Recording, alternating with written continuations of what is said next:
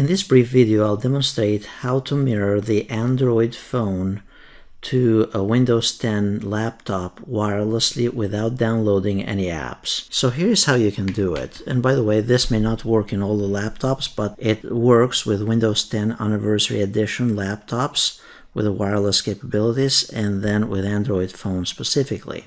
So we go here under the Start menu and we search for the application called Connect. All we have to do on the desktop side of things is just open the Connect application and then it will come up with a screen very similar to this. Then we go to the uh, Android phone and I'll try to demonstrate this in just a second here once I get connected.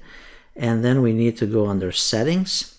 The option on your phone most likely will be the screen sharing, share the screen with, a, uh, with sound to a TV my, uh, via Miracast. You'll turn that service on and then your screen from your Android device will be connected to the laptop. And by the way, the way I did this was basically by going here under settings because we couldn't see that option earlier. So I had to go under settings. And here we have all the different Android settings. Then I simply had to tap on search here on the top and uh, just enter the word mirror. So basically you have to search here for either screen sharing or mirroring on the settings from your phone.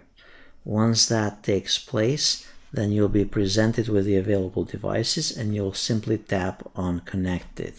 Unfortunately, I could not capture that all those details here on the video. So now at this point, I can simply go here to any of my applications and then basically project whatever I have on my screen here. Now, uh, one of the things that you can do is you can open PowerPoint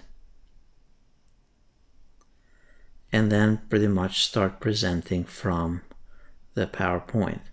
Now, if you rotate your phone, it will also rotate your PowerPoint on the larger screen.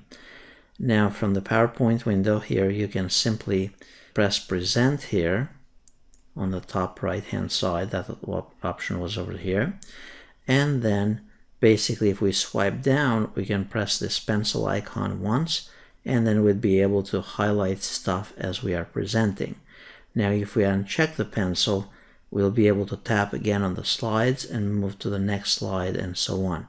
If we tap gently upward or downward here it will bring up these tools again and then we can tap again on the pencil and highlight and annotate on the screen from our phone.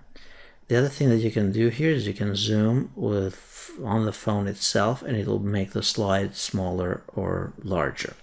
So that is how you mirror the screen to a Windows 10 uh, machine.